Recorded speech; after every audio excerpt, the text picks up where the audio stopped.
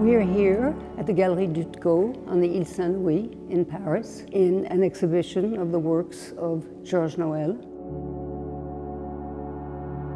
There are works from all periods. It's like a mini retrospective of about 20 paintings, paintings which have never been shown in Paris before. Georges Noël was a French painter who was born in 1924 and who died in 2010 at the age of 86. He is of the same generation as Simon Hantaï, Martin Barré, Arman, and Yves Klein, for example. But in view of the fact that he spent 13 years in the United States, he lived and worked and exhibited in New York between 1969 and 1983. His work is less known here on the French scene than that of many of his contemporaries. During uh, Georges Noël's long and stylistically varied career, there are three elements which were constant to his work. The first was his interest in materials and his invention of new mediums.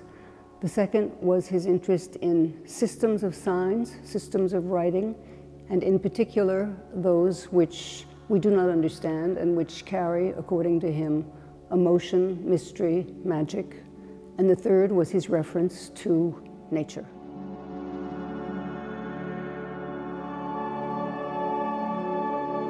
Georges Noël arrived in Paris in 1956 from Pau in the southwest of France where he grew up. And one of the first encounters that he made was with the work of Jean Dubuffet. And I think that Jean Dubuffet, who was then working on the matérologie and the texturologie, and thus covering the whole canvas uh, with a very thick layer of paint. It appealed to Georges as a way of getting away from Beaux-Arts conventions and figurative painting, which he had been doing up to that time. So this painting is from 1958, and I think it, he did it actually as a finger painting, and this one is from 1959, which is much closer to a Dubuffet in a sense, and yet it's, the surface is a bit more delicate. And as we see, we see these graffiti coming out, which will be something which Georges will be very interested in. He discovered Brassai's photographs of graffiti and the idea of an anonymous graffiti, which is an expression nonetheless of human desire and human energy. That was something that interested him very much. In uh, 1960-61, Georges discovered or invented his true medium, which was a mixture of raw pigments, sand, and glue. He mixed them together and he would spread them across the canvas. And what he liked about them is that they dried faster, they gave a matte surface.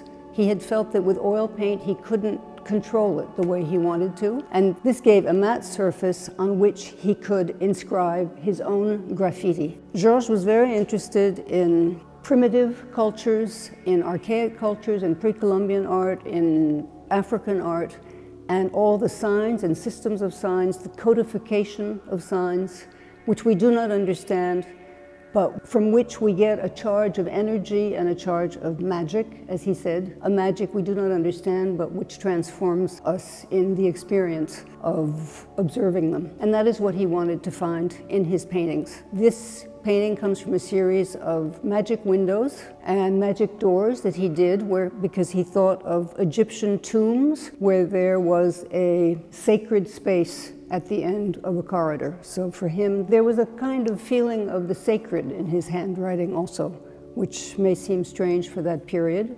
but um, Georges did have a mysterious and somewhat mystical sense.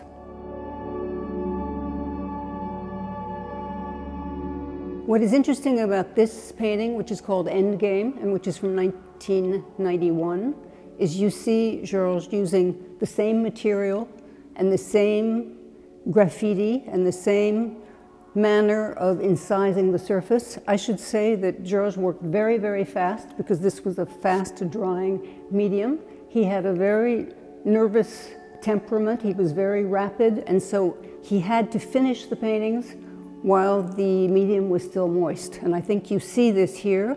The introduction of random and chance was also very important.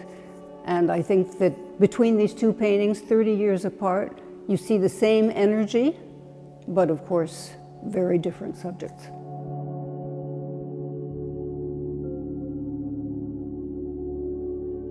Nature was very important in Georges' inspiration, more implicitly than explicitly, I would say. When he did this painting, I'm not sure that he was thinking of a British garden, which is the title of the work, and which probably came afterwards.